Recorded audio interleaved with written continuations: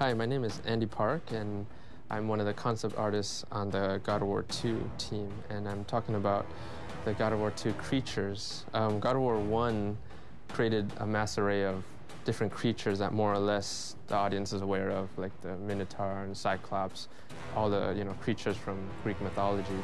Uh, God of War 2 has a lot of those same uh, creatures, but it really tried to take it to the next level.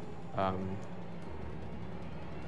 we're always trying to create creatures that are really just cool to look at and also to play or fight against, but we also want to always keep that the mythological look.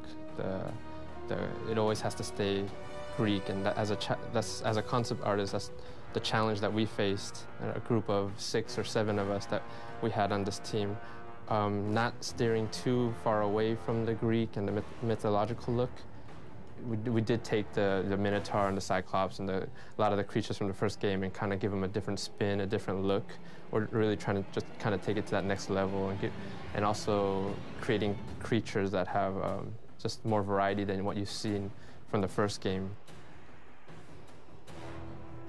You know, there's there's just so many different uh, creatures in Greek mythology. Unfortunately, we're not able to uh, uh, have all of the creatures in in this game.